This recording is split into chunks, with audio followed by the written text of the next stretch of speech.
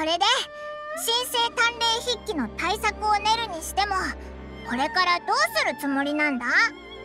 ふむ。当ててみるがよい。解決の糸口は八重堂と関係しておる。うん。あわかった。八重堂の名前と巫女の影響力を使ってみんなにこの本に書かれたおまじないの危険性を伝えるんだろ？ほうまさかこんなにも早く。外れを言うとはの。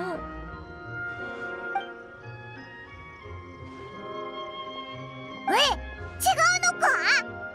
新生鍛錬筆記は今や稲妻で最も流行しておる娯楽小説じゃ。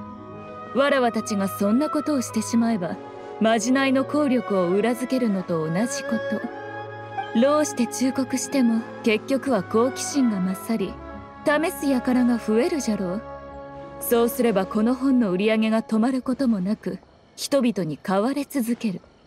おいそれじゃあダメだな。えー、っとああなら本を没収するっていうのはどうだ？はあ一冊の娯楽小説のためにそのような騒ぎを起こせば人や資源を無駄に費やすこととなる。それに稲妻で安寧に過ごしておる人々もきっと混乱するじゃろう。だったらもう方法なんてないんじゃないか？いいや。方法がないなどとわらわは一言も言っておらぬぞ。神聖鍛錬筆記はわらわも読んだまじないのことを抜きにしても実に面白いものであった。古今東西のあらゆる階段について熟練の手法で物語が描かれておる。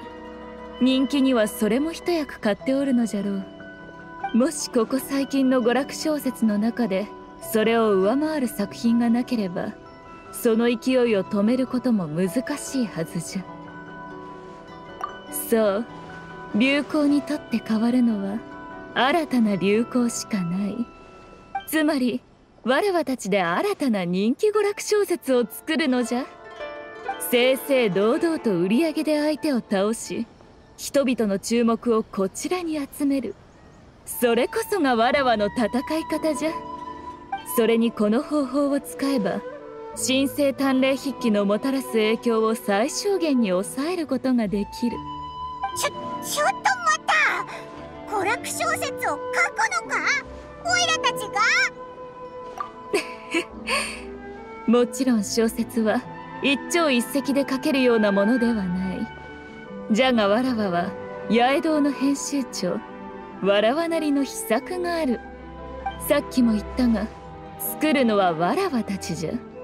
共同創作という言葉は何時も聞いたことあるじゃろ？とにかく八重堂が主催する小説の公募もまだ締め切られておらん。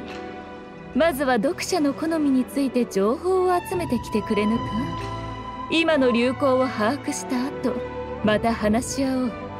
一通り情報が揃ったら右遊亭に合流じゃわらわも人を集めておく。食事をしながら仕事をするとしよう。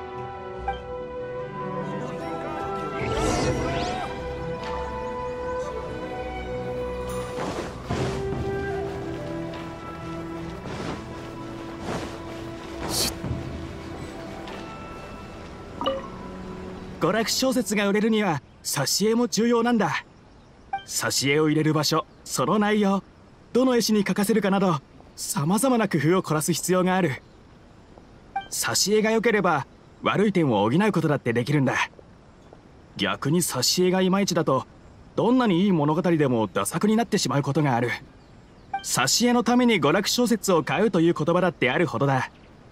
僕からすればその言葉はあながち間違いでもない。ただ有名な絵師はそのほとんどが忙しく担当してもらうのが難しいようだけど神聖鍛錬筆記も挿絵がとても良かった。今までに見たことない画風だったよ。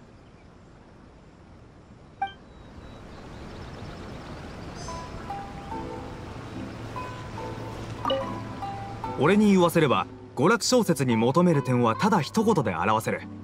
それが爽快感だ。従来の物語だと主人公がゆっくりと成長していき別れや失望の中で強くなっていく。確かにそれも面白い。だが展開が遅すぎるんだ。今稲妻で流行っている新生探偵筆記は最初から主人公が強くてね。読んでいてとても爽快感があったよ。物語の主人公は陽子で呪文や秘宝を熟知しているだけでなく書画や茶道にも精通しているんだ。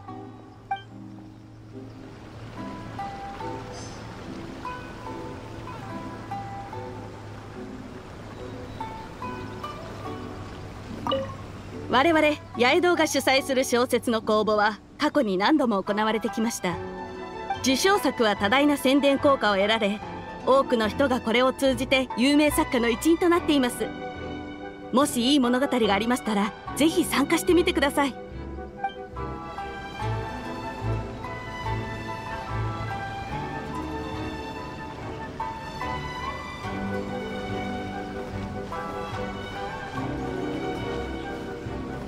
よ逃げ道はありません。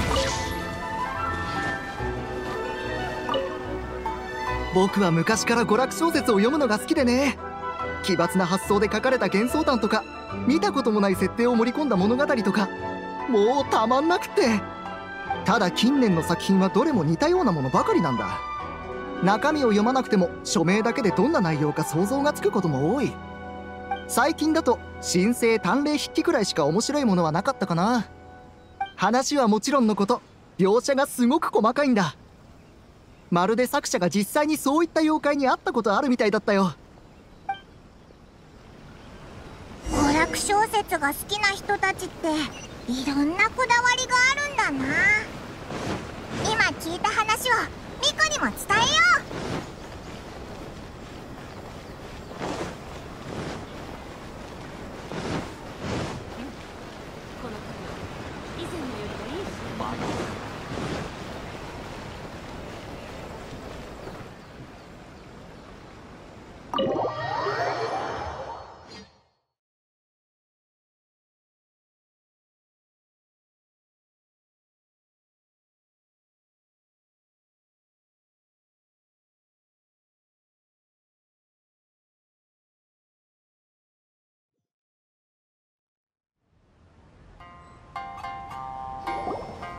ふむ。来たか。まずはナンジラにわらわの集めた人員を紹介しよう。この二人はナンジラも知っておるな。純吉と茂じゃ茂は経験豊富な編集者じゃ。そしてそやつと組んでおるのが作家の純吉。ここ最近いい作品が書けずに悩んでおるようじゃが過去には若者たちの間で人気もあった。まあ独特な作風が魅力じゃな。里見は八重堂の主力作家じゃ。複数の筆名を使い分けさまざまな作風の物語を書いておる。もちろん筆名は企業秘密じゃ。我らで小説を書き上げ新生探偵筆記を打倒する。どうじゃ？これで安心したか？なるほど。そういうことだったのか。なら次はナンジラの集めてきた。読者が求める作品について話してもらおうかの。ふむ。見たこともない設定。展開の早い物語。綺麗な挿絵に爽快感か。確かにそれら要素のある小説は売り上げが期待できるじゃろう。じゃがそれよりも重要なのが作品に描かれる現実感を伝えられるかどうかじゃ。たとえ娯楽小説であってもな。だんだん分かってきたけど結局どうやって書けばいいんだ？見たこともない設定って言われてもどんな設定にすればいいかわからないぞ。その言葉を理解する前にまずは自分の読者層を把握する必要がある例えば新生探偵筆記。わらわにとっては陽子など知り尽くしておるものじゃ。じゃが人々には目新しいものとして映る。これが作者と読者の間にある情報の差じゃ。わっぱよ。汝は旅人として稲妻の人々が知らぬことをあまたと知っておろう。汝にとって見慣れたものでも人々にとっては全く知らない。見たこともない設定になるはずじゃ。そういうことか。じゃあモンドとリーユへのことで何か思いつかないか考えてみようぜ。でもそれだと神聖鍛錬筆記と違う感じの小説になっちゃうけど大丈夫か？問題ない。何も神聖鍛錬筆記と争うことだけを考える必要はない。汝らはただ自らの経験や興味深い話を提供するだけで良いのじゃ。それが面白いものであればここにいる専門家たちが自然とより良いものに仕上げてくれるじゃろう。よし。じゃあまず第1章の内容から考えようぜ。何かいいアイデアはあるか？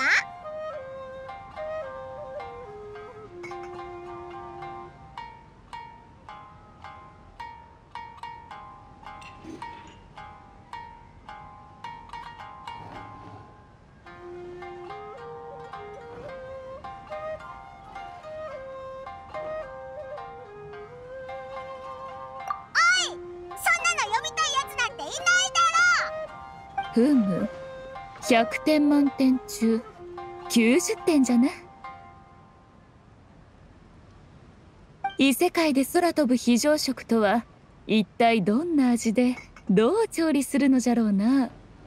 こういった物語の始まりは読者の興味を引くことができる。料理を題材にした作品を甘く見るでないぞ。食とは誰もが興味を持つ分野じゃからな。おい！悪くないなわっぱよ。自らの経験のみだけでなくどうやら何時も娯楽小説をよく読んでおるようじゃ。どれも要点を抑えておる。皆はどう思う？これらの考えから面白い物語は作れそうか？はい大丈夫だと思います。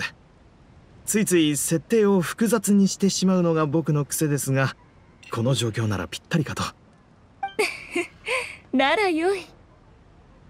第一章はこれで進めるとしよう。次は第二章じゃ。え？まだ続けるのか？読者というのは読むのが早いんじゃ。苦労して人気を得ても続きが出なければすぐに離れてしまう。じゃからほれ第2章を作るぞ。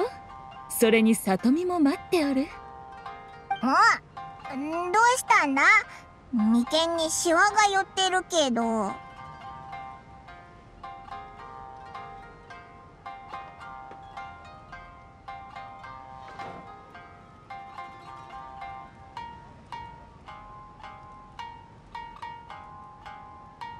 あ。初心者ならではの発想で良い案がまだまだ出てくるかと思ったがまさかこんなにも早く。それが訪れるとは。おどういうことだ？これはスランプという名の魔王じゃ突如として現れる生涯の敵。作者に死と同等の苦しみを与え魂を売ってしまいたくなるほどの絶望を与える。えー、っとえなんとなくわかるような？こういう時は美味しいものでも食べて心を落ち着かせるに限る。天使よ。油揚げを一つ。それとこやつらに串焼きを頼む。味付けは普通でよい。安心せ。わらわのおごりじゃ。おごり？そういえばおいらたちこんなに頑張って小説を作ってるんだし。もちろん。原稿料はもらえるんだよな。当然じゃ創作に参加した全員にあるぞ。やったー。よし。早くスランプを退治しろ。オイラたちの原稿料のためにも頭をフル回転させるんだ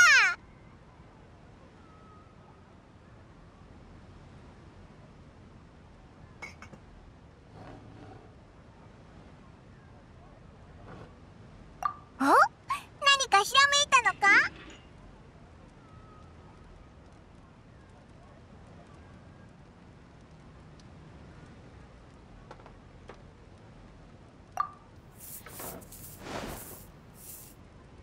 どれどれ？リーヨエにたどり着いた主人公はモラを払えずにいる男性と出会う。しかし後にその人物がかの有名な元王帝君だということを知るのであった。七星の助力と千人の加護そして広大な大地を自由気ままに旅をする。これが俗に言う爽快感ってやつか？ふむ。わらわの評価は98点じゃ。爽快感がありこれといった欠点もない。それにかの帝君にまつわる伝説は数多くある。きっと人々の興味を引くことじゃろう。少なくとも市場価値はある。良いじゃろそうか勝利が気にしないといいんだけど。よし。これで里見も物語が書けるじゃろ。うお任せください八重様。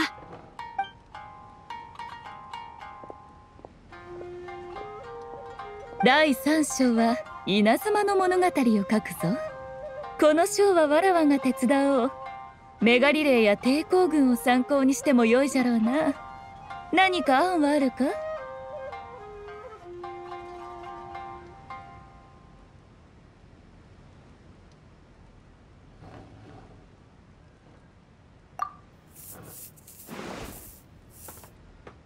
稲妻学院の厳格なるライデン学院長はすべての娯楽小説を没収しようとしていた。主人公は狐お姉さんの助けのもとライデン学院長に御前試験を申し込む。そしてライデン学院長を打ち破り諸ガリレーは廃止されるのであった。これ本当に出版できるのか？何も問題はない。とても良いと思うぞ。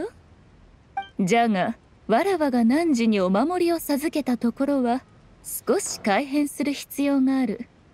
不思議な狐お姉さんは主人公に願いを叶えるおまじないを教え主人公はそれを頼りにライデン将軍を打ち倒した。これに変えるとしよう。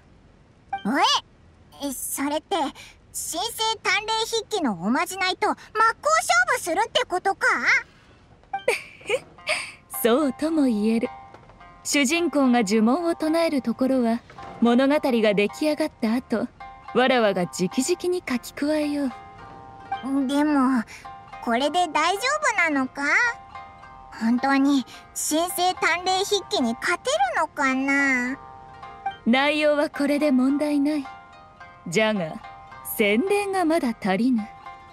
絵師に連絡して挿絵を描いてもらおう。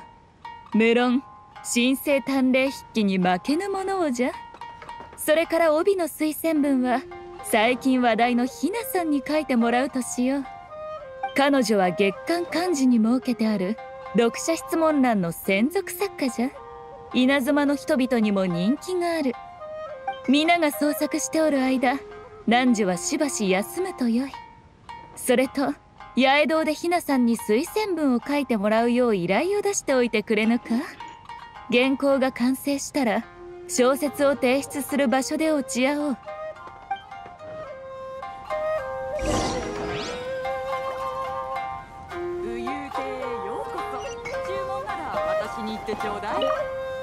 そうじゃな。狐お姉さんから教わったおまじないはうむこれじゃ。